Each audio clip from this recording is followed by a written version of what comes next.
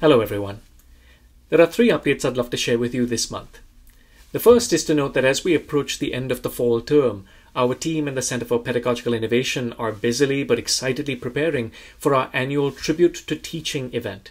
This is the annual celebration during which the university wide teaching awards are conferred, and so we're happy to invite you to join us in Pond Inlet on the morning of December 7th between 10:30 and noon to help celebrate your incredible colleagues. The second update has to do with CPI's ongoing webinar series on assessment. Many of you will have attended these webinars. We've had incredible faculty engagement across the university. And so this fall, we've had webinars related to assessment in the context of uh, accessibility and universal design, assessment in the context of blended and online learning, as well as assessment in the context of writing intensive courses. I'm happy to say that the recordings from all three of those sessions, as well as a bonus fourth session having to do with the essentials related to artificial intelligence for educators, all four of those recordings are available on CPI's website for your consumption and reviewing. But we're also thrilled to now share our winter lineup. We will continue to focus on assessment, but of course, we're going to focus on different domains now. So in the winter, we're going to look at assessment in the context of STEM education, assessment in the context of language learning, and of course, also continuing our focus on assessment in the context of generative artificial intelligence. We hope you find these webinars useful and we hope to see you at them uh, live as well.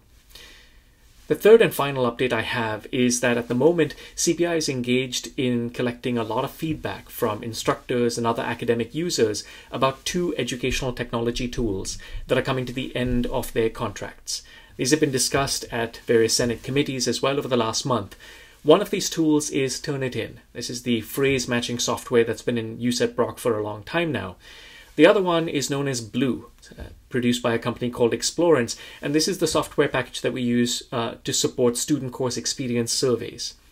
Now, as per section 3C 5.3 of the faculty handbook, we're of course consulting with academic users of both of these technologies to first validate the need for these tools, as well as uh, make sure we have the right requirements of these technologies. Uh, so many of you will have received and hopefully have read the note that came out in the Provost Memoranda newsletter last week that includes a link to a survey uh, where we're soliciting your feedback about both of these technologies. Of course, once we receive this feedback, we will go on to seek a recommendation from the Senate Committee uh, on Information Technology and Infrastructure, and then eventually endorsement from Senate for the acquisition of these technologies. Uh, in practice, of course, this could mean that we are renewing one or both of these technologies or potentially replacing them. Uh, but it is important at this stage that we receive your feedback. Uh, I know the team in CPI has been engaging with faculty uh, through a number of channels, uh, uh, but we certainly wanted to make sure that, that you were aware of this opportunity at this critical time in the procurement process. So those are my three updates for this month. I, I wish you all a wonderful finish to the to the fall term and hope to see many of you on campus, particularly on the morning of December 7th at the Tribute to Teaching event. Thank you very much.